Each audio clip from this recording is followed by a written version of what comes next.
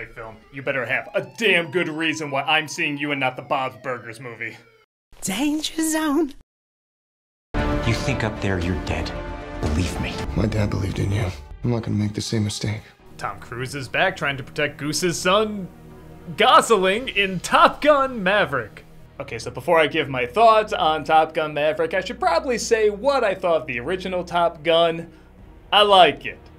I don't love it. I know it's got a lot of classic 80s cheese to it, and that's part of the fun, but my 80s cheese was more Stallone and Schwarzenegger. That's why I get more excited for something like Expendables or the Rocky sequels or Creed. That's the kind of mix of 80s cheese and also legit drama that I get into, and I get really nostalgic for. But I appreciate it enough to acknowledge when it's being done well. And this is definitely a Top Gun sequel. If you didn't like the first one, I don't think you're really gonna get into this one. For a while, I say the first third, I wasn't getting too much into it, even though I was acknowledging it was doing everything it's supposed to do. Tom Cruise is back as Maverick, he's still breaking all the rules and making all the higher ups angry. He's brought back to teach a bunch of these cadets to go on this incredibly dangerous mission. He seems to think that you have something left to offer the Navy.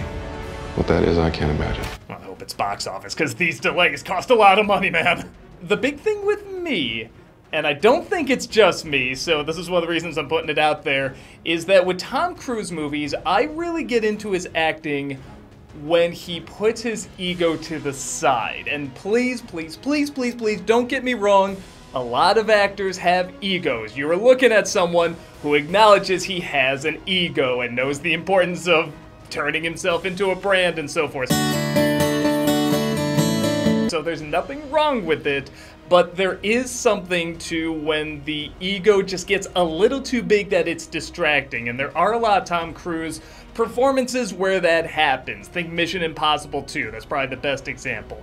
But there are plenty of times where he can really put aside and turn in some really good performances. Like my favorite ones are usually the ones where he's kind of pathetic, like Eyes Wide Shut or Magnolia or Edge of Tomorrow. Probably my favorite performance of his is Rain Man because he just blows his temper so much in a way that is so believable. He wears his insecurities on his sleeves in that movie, and that's kind of the stuff where I think he shines best. When he's trying to play the superhero or the supervillain, that's where I feel like the ego is kind of indulged a little too much. This guy needs an ego check. When even the movie is trying to tell you it's a little bit of a sign. That is definitely what's happening in the first third of this movie. And again, please don't get me wrong, I know what this is doing. We see this in a lot of action films and 80s action films, especially, where just the hero is really praised as the hero and super tough and super masculine. And to be fair, he's one of those people now that because he will fly a plane and hang on to a plane and climb a mountain and do a lot of his own stunts, he's kind of earned that ego. It isn't just coming to a movie to see a good actor act, it's to see him do some sort of huge spectacle. And that is something that's very admirable. And I think it's really cool that this guy will put his life on the line just to entertain you and make the drama and intensity all the more dramatic and intense. Everyone here is the best there is. Who the hell are they gonna get to teach us? The sweatiest volleyball player the Navy has to offer. And like I said, for the first third of the movie, they're all saying the very generic, charming lines that the tough Navy cadets say and calling him an old man and him showing them up and so on and so forth. And it's all very safe, typical writing that, again, you're looking for in a Top Gun sequel. Nothing is really underperforming, but nothing is being added either. Nothing is really being upped until they get in the sky. And obviously, as you've seen in the trailers and the commercials, the flying scenes are really spectacular. I mean, just look at some of these flying scenes. They're so well done, and it's so cool knowing that Tom Cruise and the other actors are in these jets and they're flying them around. But that's not the only thing that gets better. When they start talking about the mission and what the mission is, and they go over it over and over and over again, but it doesn't feel repetitive. It feels like you have an understanding of what they're supposed to do, when they're supposed to do it, the dangers that are involved. Danger Zone. And it gets more and more intense. And even though the writing is still